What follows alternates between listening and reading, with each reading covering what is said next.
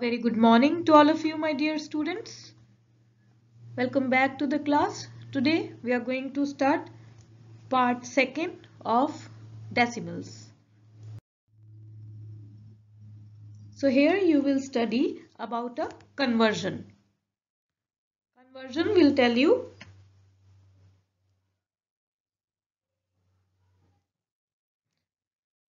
So we will see how to convert decimal number into a fraction. Okay. We have some steps here. Please look to the steps carefully and then see the solved examples.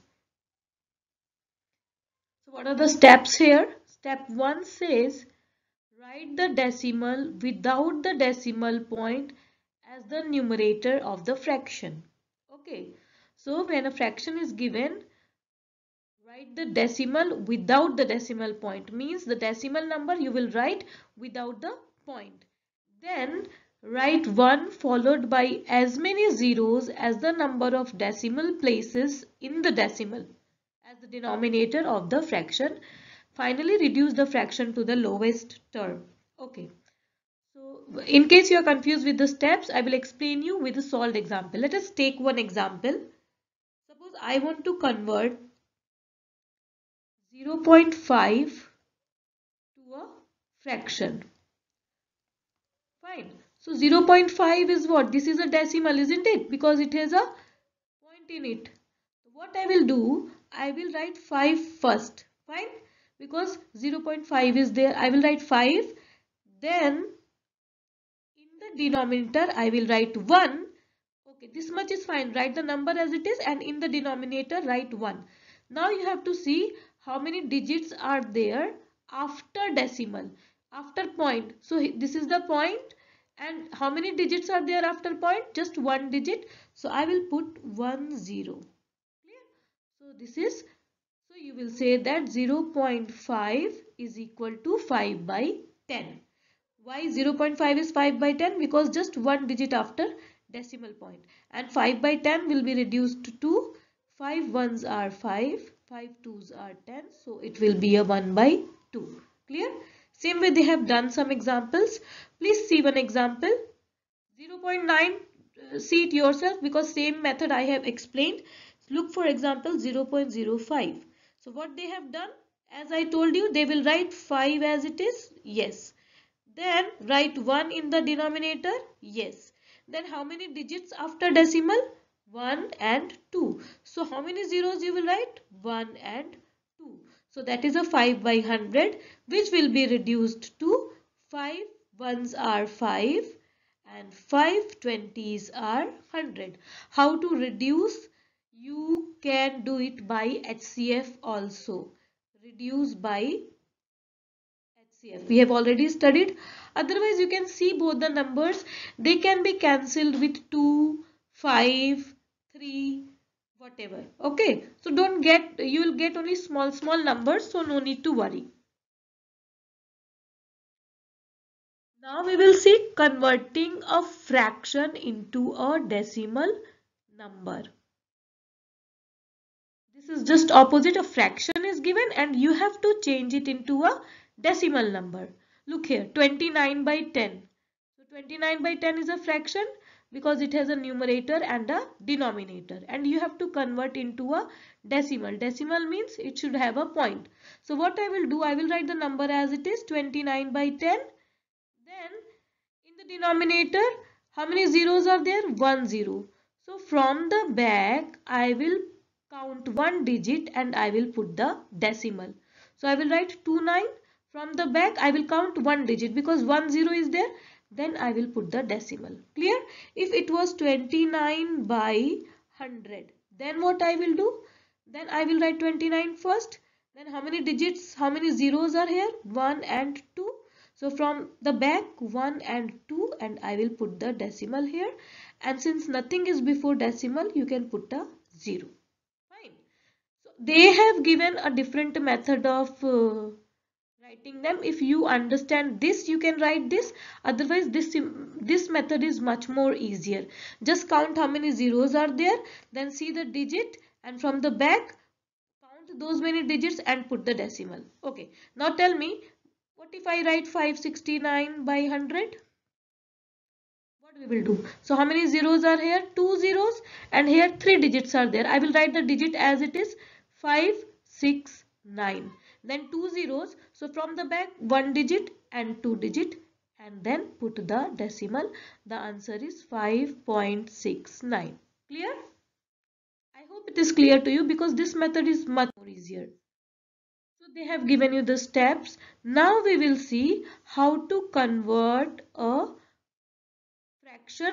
Fraction is in, now here the fraction is in a mixed form. Okay, mixed fraction to decimal. So what we will do? First you will convert the mixed fraction to a improper fraction. So they have given a 5 whole 1 by 8. 5 whole 1 by 8 will be 5 into 8 plus 1 by 8 that is equal to 41 by 8 clear that's what they are getting here 41 by 8 then what then we will simply do the division so we will write 8 as divisor and 41 as dividend. How many times it will go? 8 fives are 40 and then what is left is a 1. Now 1 will not go with 8. What I will do? I will put a point or a decimal. As soon as you put the decimal in the quotient, you get the power to put a 0. So I will put a 0.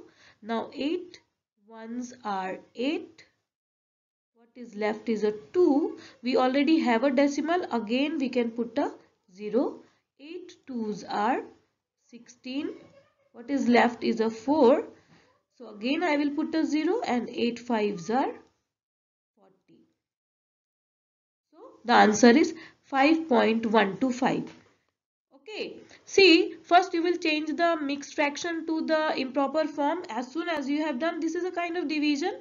So start dividing. Wherever you feel it is not getting divided put the decimal in the quotient. And after putting the decimal in the quotient you have the power to add a zero. These are the steps same steps they have explained. You can read them yourself also. So now talking about today's work this is exercise 2 and all the questions which i have circled here are already done as classwork in the upcoming slide and others will be your homework. So let us see the next slide. I hope you know now what is your homework because in previous class I have seen from exercise 1 many of you have not done question number 8. So please do question 8 of exercise 1 and send it we have done all the circle questions I have done in the upcoming slides. All the ticked ones are your homeworks. D, B and E. A, D and E. See here. Convert the following decimals into fraction in lowest term. So 0.35 was given. What I told? Write 35 and in the denominator write 1. Now how many digits after decimal? 1 and 2. So I will put two zeros. So the number is 35 by 100 which will be reduced to 7 by 20. Clear? Now here 0.836. So write 836 in the denominator write 1. Now how many digits after decimal? Decimal is here. Now 1 digit, 2 digit, 3 digit. So how many zeros I will add? 1, 2, 3. That's what I have written here. And then you can reduce it and get the answer. This is the reduced answer. Part again same way 0.444 so it will be 444 by 1000 because 3 digits after decimal reduce it you will get the answer. Question number 2 is convert the following fractions into decimals. So a fraction is given 9 by 125. See if it was a small here the number in the denominator is a big number. Okay so our work will be either to change it to 10, 100, 1000, 10,000 and, so on. So then it becomes very easy to solve. So what I will do, I will multiply 9 by 125 with 8 because 125 into 8 will give you a 1000 and if you are multiplying in denominator with 8 you have to multiply in numerator also with 8 so the new number will be 72 by 1000 now how to write 72 by 1000 in decimals? Count how many zeros are there? 1 2 3 so write 72 then how many digits we have? Just 1 and 2 3 is not there. So for 3 I will put a 0 and then put the decimal. Is it clear and before decimal since nothing is there you can write a 0 so if this was a decimal if just see with one more example if I am writing 5 by 100 then in decimal it will be since two zeros are here I will write 5 only one digit so I will put 1 0 and then I will put the decimal. And before decimal put a 0 0 0.05 5 by 100 will be 0 0.05 and if it was 0 0.05 what I will do to write it into fraction? Write 5 in the denominator write 1 now how many digits after decimal? 1 2 so how many zeros? 1 2 are you getting? Okay. Now subpart C 4 whole 3 by 4 so 4 whole 3 by 4 is a mixed fraction. Changing to improper you will get a 19 by 4. So let us do the division. Now 4 and 19. How many times? 4 4s are 19. Sorry, 4 4s are not 19. 4 4s are 16. So I will subtract. What is left is a 3. Now 4 and 3 will not go with a 4. I will put a decimal. As soon as I put a decimal, I have the power to add a 0. Now 4 7s are 28 what is left is a 2 again it will not go but we have placed decimal once. You cannot place decimal every time. That one decimal will only help you in adding zeros as many times as you want. So decimal is here. I'll add a zero. So then 5 times it is a 20 fine and it is finished. So what is the answer? 19 by 4 is equal to 4.75 I hope this much is clear to you. After going through the video, read your book once. Then in your notebooks, do the classwork first and then the homework. That was all for today, my dear students. Thank you. Have a nice day. Stay safe. Stay healthy.